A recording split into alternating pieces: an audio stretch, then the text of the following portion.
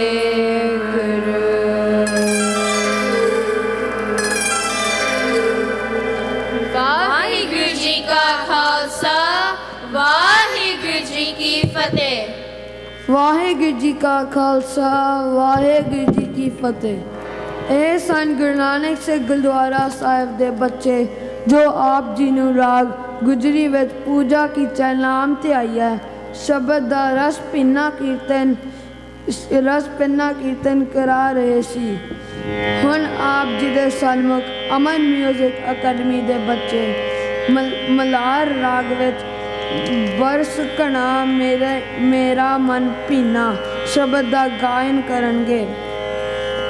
ਪ੍ਰਸਿੱਧ ਅਤੇ ਪੁਰਾਤਨ ਰਾਗ ਮਨਾਰ ਦਾ ਗੁਰਮਤ ਸੰਗੀਤ ਵਿੱਚ ਮੌਸਮੀ ਰਾਗ ਵਿੱਚੋਂ ਪ੍ਰਚਲਨ ਹੈ, ਜਿਸ ਦਾ ਗਾਇਨ ਸਾਵਨ ਰੁੱਤ ਵਿੱਚ, ਸਾਵਨ ਦੀ ਸੰਗਰਾਂਦ ਤੋਂ ਲੈ ਕੇ ਵਿਸ਼ੇਸ਼ ਰੂਪ ਵਿੱਚ ਕੀਤਾ ਜਾਂਦਾ ਹੈ। ਸ੍ਰੀ ਗੁਰੂ ਗ੍ਰੰਥ ਸਾਹਿਬ ਵਿੱਚ ਇਸ ਰਾਗ ਅਧੀਨ ਮਹੱਲਾ ਪਹਿਲਾ ਦੂਜਾ, ਤੀਜਾ, ਚੌਥਾ, ਪੰਜਵਾਂ। ਅਤੇ ਭਗਤ ਨਾਮਦੇਵ ਜੀ ਅਤੇ ਭਗਤ ਰਵਿਦਾਸ ਜੀ ਦੀ ਬਾਣੀ ਦਰਜ ਹੈ। ਸਿੱਖ ਕੀਰਤਨਕਾਰਾਂ ਵਿੱਚ ਇਸ ਰਾਗ ਦਾ ਵਿਸ਼ੇਸ਼ ਪ੍ਰਚਲਨ ਹੈ। ਗੁਣੀ ਜਨ ਸਾਵਨ ਰੁੱਤ ਸਮੇਂ ਇਸ ਰਾਗ ਨੂੰ ਬੜੇ ਉਤਸ਼ਾਹ ਨਾਲ ਗਾਉਂਦੇ ਹਨ। ਇਸ ਰਾਗ ਵਿੱਚ ਦੋਵੇਂ ਨਿਸ਼ਾਦ ਅਤੇ ਬਾਕੀ ਸਾਰੇ ਸ਼ੁੱਧ ਪ੍ਰਯੋਗ ਹੁੰਦੇ ਹਨ। ਠਾਠ ਖਮਾਜਵਾਦੀ ਮਧਿਅਮ ਸੰਵਾਦੀ षडज ਜਾਤੀ ਸੰਪੂਰਨ ਸੰਪੂਰਨ ਸਮਾਂ ਰਾਤ ਦਾ ਤੀਜਾ ਪੈਰ ਤੇ ਵਰਖਾ ਰਤ Rag Malar is a time honored melody sung exclusively during the rainy season and the month of Savan. It has both the forms of nishad and makes use of all the seven notes. Vadi Samvadi, Madhyam Sharaj, Thaat, Khamaj, time third quarter of night, and Jati Sampuran.